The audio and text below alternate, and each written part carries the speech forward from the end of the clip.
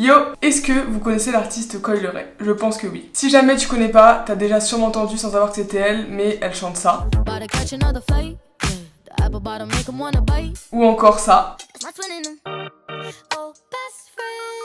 Et comme j'adore cette artiste, j'adore cette rappeuse, je me suis dit pourquoi pas en faire une vidéo, expliquer un peu son parcours, d'où elle vient, etc. Si jamais ce type de vidéo te plaît, n'hésite pas à mettre un like, à laisser un petit commentaire aussi parce que j'ai fait pas mal de recherches, j'avoue. Et du coup, ça m'a pris quand même un peu de temps. Écoutez, c'est parti, let's go!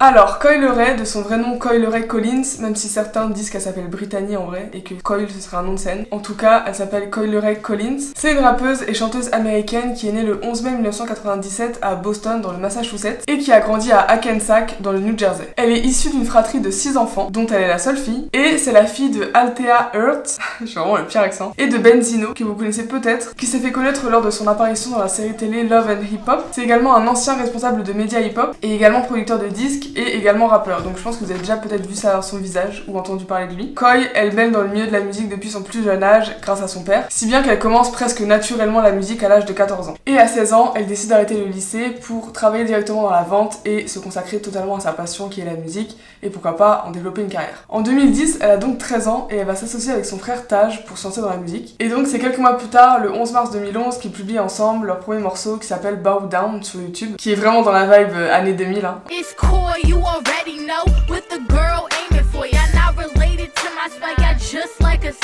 Et ensuite, quelques mois plus tard, elle publie le morceau Rock Back encore sur YouTube, qui ressemble d'ailleurs un peu à un clip de Disney, c'est assez marrant la vibe. C'est un morceau qui rentre dans la tête aussi, je trouve qu'il est pas trop mal. Et c'est quand même assez fou de se dire qu'elle avait 14 ans à ce moment-là, je trouve.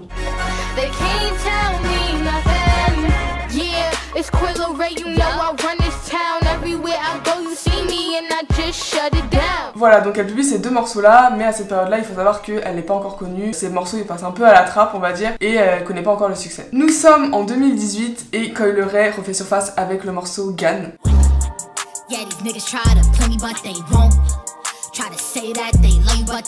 Et en fait, elle va publier sur SoundCloud, elle va cumuler directement des milliers d'écoutes. Le clip va sortir également sur YouTube la même année et va cumuler directement des milliers de vues, ce qui fait que là, je suis allée voir et aujourd'hui, on est à 3 millions de vues, ce qui est énorme. Donc voilà, Coil Ray rencontre quasiment un succès immédiat, elle sort sa musique et directement ça prend. Et ça, c'est rare en vrai chez les artistes. D'ailleurs, elle le dit même dans une interview. Elle dit Je savais que ma musique serait remarquée à un moment, j'avais foi en moi, mais je ne pensais pas que la magie opérerait dès le premier titre. C'est tout ce qu'on demande en tant qu'artiste. Du coup, pour continuer dans la lancée de ce succès et surfer sur la vague, elle publie sa toute première mixtape, Everything Cows, en 2018, qui est composée donc de 13 titres, dont le son Gan, et tout ça de façon indépendante. Elle fait ça toute seule et euh, ça fonctionne. Elle continue dans sa lancée parce que fin 2018, elle va sortir de nouveaux projets, dont des morceaux qui vont la propulser, avec le morceau par exemple No Letting Up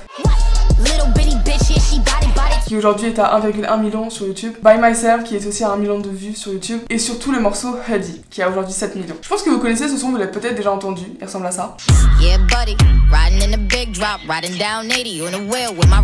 Et d'ailleurs ce morceau il va avoir un tel succès qu'elle va directement être repérée pour signer dans le fameux label Republic Records. Pour ceux qui ne connaissent pas, qui n'est autre qu'un label qui a signé genre Kid Cudi, Nicki Minaj, The Weeknd, Taylor Swift, ou encore Stromae d'ailleurs en français. Évidemment il y en a encore plein d'autres, mais bref t'as compris c'est du lourd. You're on Republic Records. Sign Republic. Which is a great label. Amazing. I signed the biggest deal of 2019 if you do your research. Really? Really. Can you say what it was? Uh-uh. No. Know but it was I'm the biggest deal. But it was the biggest deal. Okay. For sure. Et le truc en fait avec Koi, c'est qu'elle a. Oh Et le truc en fait avec Koi, oui je l'appelle Koi, c'est qu'elle apporte un peu de la fraîcheur et de la nouveauté dans le paysage rap. Et c'est une artiste assumée qui oscille entre rap et chant et qui a aussi son propre style, que ce soit vestimentairement parlant, parce qu'elle a vraiment une dégaine, genre elle est à la fois très masculine dans sa manière d'être et en même temps très féminine, très sexy. Dans ses sons à l'ancienne, quand elle s'est fait découvrir, et ben on la voit beaucoup dans des baggy larges, avec des caleçons apparents, avec des brassières, des choses qui pourraient paraître un peu masculines, tout en ayant une attitude un peu sexy. Elle est un peu ambivalente et dans tous les cas elle est toujours stylée, elle est toujours à la pointe du truc. Elle a également son propre style dans sa façon de rapper parce qu'elle a une voix particulière en vrai. Elle a un flow spécial, c'est pas une voix qu'on a l'habitude d'entendre je trouve. Et elle apporte aussi un vent de fraîcheur de par son apparence parce que c'est vrai qu'elle a pas le cliché type du corps d'une rappeuse. C'est-à-dire qu'à cette époque, on a beaucoup de Nicki Minaj, Cardi B, qui sont des femmes très pulpeuses, qui sont parfois refaites, avec une image un peu sulfureuse. Et Koi, elle, elle arrive avec une dégaine assez masculine, un corps assez androgyne, pas beaucoup de forme, naturel. Et du coup, c'est vrai que c'est un peu nouveau. Et c'est une femme qui est vraiment skinny, mais qui s'assume. C'est-à-dire qu'elle va pas se cacher, elle va vraiment osé mettre des choses assez moulantes, des choses qui mettent en valeur sa petite poitrine. Bref, elle a du flow tout simplement. Et en fait, ce qu'il faut savoir, c'est qu'elle a aussi une personnalité qui est un peu à part. Elle sort du lot. Parce que c'est une fille qui est vraiment un peu sans prise de tête, qui se filme un peu quasiment au quotidien, qui est marrante, qui a assez bon délire, et en même temps très sûre d'elle. Et du coup, ça crée tout un personnage qui est assez intéressant et qui est un peu novateur encore une fois. Donc à la suite du succès de Huddy, il y a beaucoup de médias qui vont commencer à s'intéresser à elle. Elle va se faire approcher par de gros journaux américains. Elle va également assurer la première partie de concerts de gros rappeurs comme Trippie Red ou alors Gucci Mane. Elle est également choisie pour participer à la BO du film Spider-Man Into the Universe. J'ai vraiment le pire accent. Elle est également programmée pour le festival de Rolling Loud 2019, qui est d'ailleurs un gros festival connu à Miami. On voit que tout lui sourit, elle a des propositions de partout, tout va bien pour elle. Et bref, vous le savez, hein, un lot de bonnes nouvelles ne va jamais sans de mauvaises nouvelles, et forcément tout n'est pas tout rose quand tu es connu. Même si à cette période sa musique réussit, tout fonctionne, elle est approchée par de grands médias, et ben forcément elle augmente en popularité, et donc ça amène des critiques. Donc comme vous l'aurez compris, Coil Ray elle est pas épargnée. Franchement, c'est fou parce qu'elle est vraiment en ligne de mire de beaucoup. En fait, elle reçoit énormément de haine déjà concernant son physique, parce que comme je vous ai dit, elle a un physique qui est un petit peu pas atypique parce que c'est vrai qu'il y a des femmes de toutes les morphologies, mais en tout cas mise sur le devant de la scène comme ça, il y a peu de femmes skinny avec son type de morphologie qui sont mises en avant et du coup ça fait parler. Il y a beaucoup de gens qui critiquent en disant que c'est pas une femme, en disant que c'est un mec, qu'elle a un corps d'homme, qu'elle est pas du tout sexy, qu'elle est pas attirante. Tout ça parce qu'elle correspond pas aux standards des rappeuses américaines du moment. Donc comme je vous ai dit des Nicki Minaj par exemple. Et du coup je me suis un peu reconnue en elle parce que j'ai eu une période moi aussi en tant que meuf filiforme, et ben j'ai eu pas mal de critiques sur euh, le fait d'être fine et du coup je me suis beaucoup reconnue en elle parce que je pense que beaucoup de femmes minces ont été contentes de voir une femme comme ça, mise en avant, sans chirurgie surtout, pas besoin de refaire ses seins, pas besoin d'avoir des grosses fesses pour pouvoir chanter, rapper et être talentueuse. Et c'est vrai qu'à ce moment-là, Twitter, de façon, on connaît Twitter, hein. Twitter c'est vraiment un endroit où c'est l'enfer sur Terre. Et du coup, eh ben forcément, euh, sur Twitter, il y avait énormément de critiques concernant son physique. Elle se faisait mais vraiment lyncher. Et encore aujourd'hui, hein, franchement, euh, quand tu tapes Coil Ray, t'as aussi beaucoup de gens qui la critiquent encore. Et dès qu'elle publie un clip, et ben sous ses commentaires, il y a forcément plein de critiques aussi liées à son physique encore une fois. Bref, heureusement que ça évolue aujourd'hui, mais j'ai l'impression que euh, toutes les femmes passent par là. Dès qu'elles sont mises sur le devant de la scène, peu importe, j'ai l'impression que tu seras critiquée. D'ailleurs, à travers ses interviews, parce que forcément, elle les voit, ces messages. Donc à travers ses interviews, elle essaye de se défendre et de d'ailleurs défendre cette cause qui est le body shaming en disant en tant qu'artiste féminine et qu'en plus vous n'êtes pas un sex symbole à 100%, vous devez parfois travailler un peu plus dur pour que les gens vous voient et vous entendent vraiment. En tout cas, ce qui est sûr, c'est que Coil met en avant les femmes minces, avec des petites formes, naturelles, dans un univers où le standard de beauté est très axé sur des femmes très pulpeuses, sulfureuses et un peu tournées vers la chirurgie parfois. Et ça fait plaisir parce qu'elle contribue un peu à casser les stéréotypes qui collent encore un peu à la peau des rappeuses aujourd'hui, je trouve. On a aussi d'ailleurs des rappeuses comme euh, Cody Shane, Young M.A. ou Rico Nasty qui sont aussi des rappeuses un peu en, pas androgynes, mais genre un peu masculines si on peut dire ça. Elles apportent un peu de nouveauté encore une fois dans le paysage rap. Et c'est cool parce que ça tend un peu à moins sexualiser la femme dans l'industrie musicale. D'ailleurs, elle a pris la parole sur Twitter et elle a dit Habituez-vous à mon corps parce que je n'y changerai jamais rien. Et elle a bien raison. Et en vrai, même si je pense que ça l'atteint un petit peu, on dirait qu'elle s'en fiche complètement parce que c'est pas ça qui va l'arrêter à publier des photos sexy, à mettre des tenues sexy près du corps, à publier des vidéos d'elle qui twerk avec ses petites fesses. Bref, elle assume son côté sexy et moi ça j'adore. Concernant les critiques, évidemment il n'y a pas que le physique, il y a aussi sur sa façon d'être, ses prestations scéniques et en fait elle a été pas mal lynchée et d'ailleurs ça a été des vidéos qui ont été virales et qui l'ont pas mal fait connaître aussi parce qu'en fait elle a participé donc au festival Rolling Loud à Miami et en fait il y a des vidéos qui ont tourné parce que sur scène on voyait qu'elle était à fond et on voyait que le public il était pas du tout réactif et il bougeait quasiment pas et donc il y a plein de gens qui ont filmé en disant ah ouais ok euh, c'est ça Ray, euh, on dirait des gens qui sont dans GTA c'est malaisant il y a aucun public qui réagit. Et du coup ça a été des vidéos qui ont été virales parce qu'on voit vraiment une euh, Coil Ray qui, chante sur scène genre normal elle fait sa prestation. Et les gens ils sont comme ça. Du coup, c'est devenu viral, mais malheureusement, elle est devenue virale pour une mauvaise raison, parce qu'on se moquait d'elle en fait.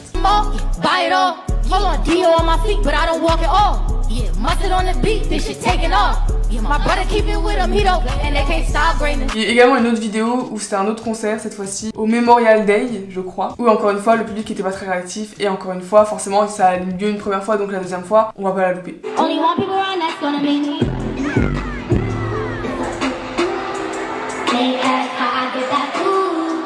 Elle s'en prend plein la gueule quoi. Mais c'est faux parce que vraiment, les gens ont à redire sur tout ce qu'elle fait. Son apparence, ses prestations, mais également ses relations de couple. Parce que on sait quand t'es une célébrité, les gens s'intéressent un peu à ta vie privée. Ils veulent voir un peu c'est quoi dans ton intimité. Et du coup, il y a beaucoup de gens qui ont mis en lumière un petit peu ses relations de couple, notamment avec le rappeur Trippie Redd qui a beaucoup fait parler aussi. Ils ont pas mal publié même de photos, de contenu euh, tous les deux à une époque. Et ils ont d'ailleurs collaboré sur certains projets où Koi a fait un feat avec Trippie Redd sur son album Point d'exclamation. Je sais pas comment tu dis ça.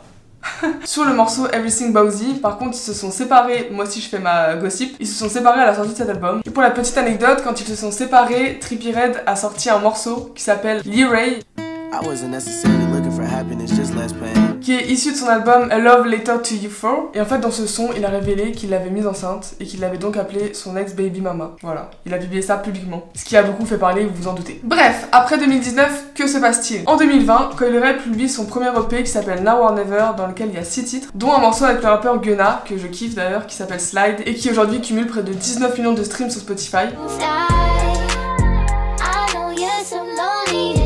Également un morceau avec le rappeur Fetty Wap, qui se rappelle. Bref, elle a beaucoup de feats avec des rappeurs connus, et vous vous en doutez, cet album est un succès. Donc l'artiste continue de monter. Ensuite, en 2021, elle sort le morceau No More Parties, qui est vraiment incroyable ce son, et qui va être d'ailleurs l'un des plus gros succès de sa carrière. I'm off better things.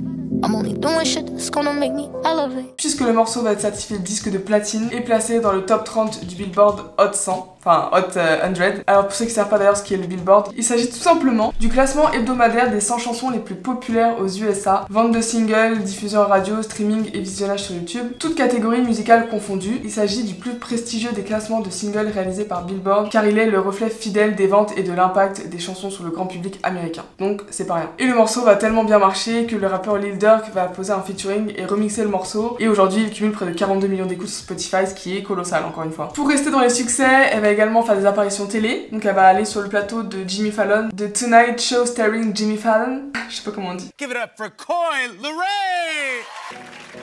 Yeah, they wanna eat off my plate. Mais encore une fois, elle grandit de plus en plus, elle est critiquée et euh, ça ne s'arrange pas. Elle est critiquée sur ses performances scéniques, encore une fois, elle est critiquée sur son apparence physique, encore une fois. Cette fois-ci, on la critique aussi sur ses coiffures, sur ses freestyles, bref, elle a pas une minute de répit et ça donne pas envie, franchement. Mais elle se laisse pas abattre, elle continue de bosser pour sortir des morceaux qui plaisent au plus grand nombre et en 2022, elle va sortir l'album Trendsetter qui est rempli de featuring avec euh, l'artiste Her par exemple, Lil Durk, Nav, etc.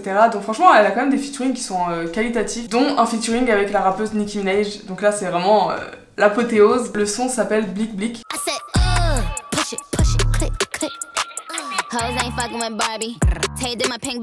et va encore forcément être un succès. Vous allez vous en douter, elle est critiquée pourquoi? Pour la sortie de cet album car les gens estiment qu'il n'a pas assez marché au début et que en quelques semaines il n'a pas assez vendu. Donc beaucoup disent que son album aurait floppé à la sortie alors qu'en vrai euh, un album ça prend du temps à se mettre en place. T'as des fois l'album il prend directement, des fois sur le long terme et c'est pas en une semaine que tout se décide en fait. Ce qui fait qu'elle a été obligée de répondre, de poster sur Twitter. Elle poste d'ailleurs beaucoup sur Twitter. hein. Euh, là elle a répondu en disant God has been the best father to me. I can't complain about anything. My debut album is amazing and not one song can you say is bad. It been five days. I understand Coily Ray is so viral and works good on blog headlines, but trust me, it's all part of the game. Just try it out and stay focused. Bref, elle se défend et elle a raison parce que c'est pas en 5 jours que euh, l'album il est décisif quoi. Il y a d'ailleurs certains artistes qui l'ont défendu comme Nicki Minaj ou encore 50 Cent qui a commenté sous l'une de ses photos ce serait le bon moment d'arrêter de haïr Coily Ray. D'ailleurs, il y a beaucoup de gens qui la comparent à la rappeuse Dej Love et du coup qui la critiquent parce qu'ils disent qu'elle euh, copie clairement son style. Bref, vous l'aurez compris, Coily Ray est en pleine ascension et du coup tout lui réussit. Et d'ailleurs, comme de nombreuses stars, elle est aussi très présente sur les réseaux sociaux, c'est dur à dire, sur les réseaux sociaux qui lui permettent de gagner en visibilité et d'accroître sa notoriété. Par exemple, sur TikTok, elle a 11 millions d'abonnés, ce qui est énorme. Elle est d'ailleurs super active, elle poste beaucoup de vidéos d'elle où elle danse, où elle rappe, où elle fait des blagues, où elle parle. Beaucoup de vidéos aussi où elle twerk,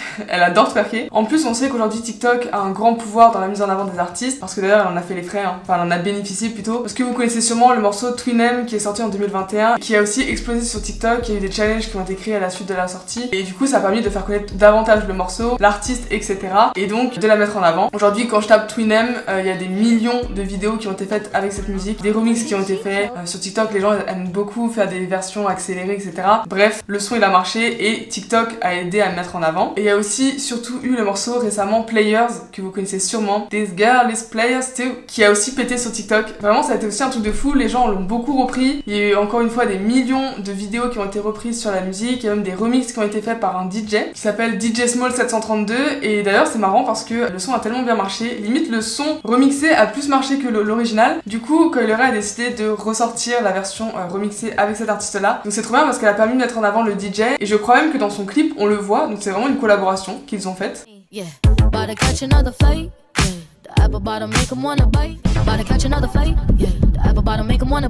Ensuite, elle est aussi très présente sur YouTube. Elle poste également ses clips, euh, ses vidéos, etc. Elle a d'ailleurs jamais supprimé les anciens sons qu'elle avait fait depuis le début, donc ceux dont je vous ai parlé tout à l'heure. Il y a beaucoup de rappeurs qui assument plus euh, forcément leur passé et donc qui suppriment. Et en fait, elle a sorti aussi une série de vidéos qui s'appelle Cooking with Coil Ray. Et en fait, tout simplement, elle fait des recettes où elle parle en face cam. Et en fait, elle a une personnalité qui est assez fun et euh, dynamique et du coup, ça passe très bien. Ça enregistre aussi des centaines de milliers de vues. Bref, ça marche. Forcément, Instagram, hein, est très présente sur Instagram, 7 millions d'abonnés, ce qui est énorme. Elle publie pareil des vidéos d'elle euh, où elle danse beaucoup, des vidéos de ses tenues parce que c'est quand même quelqu'un qui est axé beaucoup sur la mode, qui est très stylé, euh, avec des tenues toujours plus originales les unes que les autres, très sexy. Bref, elle a vraiment un bon style et du coup elle le met beaucoup en avant sur Instagram. Également les shows de ses concerts. Bref, elle a vraiment son univers, son style à elle et elle le partage beaucoup sur Insta, qui est un peu le lieu pour, mais de façon assez naturelle et je trouve ça assez cool de la suivre. En tout cas, aujourd'hui, Coil Ray, c'est une artiste qui est vraiment en place. Elle est vraiment connue du plus grand nom, même si de nom peut-être tu connais pas, tu connais forcément l'un de ses sons. Et franchement, elle a bien réussi. Elle a connu un succès vraiment rapidement. Les premiers sons, ils ont directement popé. Elle est quand même talentueuse et ça faut pas le nier. C'est une rappeuse qui est un peu atypique, qui a vraiment son propre univers et perso, j'adore la suivre. Si jamais tu la connais pas, n'hésite pas à aller écouter ce qu'elle fait. Elle a beaucoup de morceaux qui sont très très cool. Si t'aimes le rap d'ailleurs, ou si t'aimes aussi un peu les sons un peu plus chantés, elle en a sorti un récemment qui s'appelle Wasted. Oh, qui est un peu plus posé, calme, chanté et ça change un peu de ce qu'elle a l'habitude de faire. Donc perso j'adore, je trouve qu'elle est assez surprenante comme fille. En tout cas une chose est sûre c'est qu'elle n'en est qu'à ses débuts. Elle a tout devant elle. Je pense qu'elle va encore nous sortir de nombreux beaux projets. Et du coup on l'attend un petit peu, euh, pas au tournant parce que ça y est je pense qu'elle a assez euh, essuyé de critiques, mais on l'attend. Avec impatience. une chose est sûre c'est que Coil Ray fait désormais partie des artistes féminines incontournables de la scène hip-hop internationale et américaine. Voilà pour cette vidéo, j'espère que ça vous aura plu. J'ai kiffé la faire, j'aime trop analyser un peu la vie des artistes comme ça. Si jamais vous voulez faire euh, la vie de quelqu'un d'autre, n'hésitez pas à me le dire. Je débute donc il y a peut-être des infos que j'ai oubliées, des infos que j'ai dit en trop qui étaient pas nécessaires. En tout cas, j'ai adoré la faire. Si jamais t'as aimé, n'hésite pas à lâcher un like, ça me ferait trop plaisir. Ça m'aide beaucoup de savoir si ça vous plaît. Et puis euh, n'hésite pas à t'abonner aussi, il y a beaucoup de gens qui regardent les vidéos sans s'abonner. C'est important. Suis-moi sur Insta, Marie Cools, ça change pas. Et puis, on se retrouve une prochaine fois pour de nouvelles vidéos. Porte-toi bien. Bye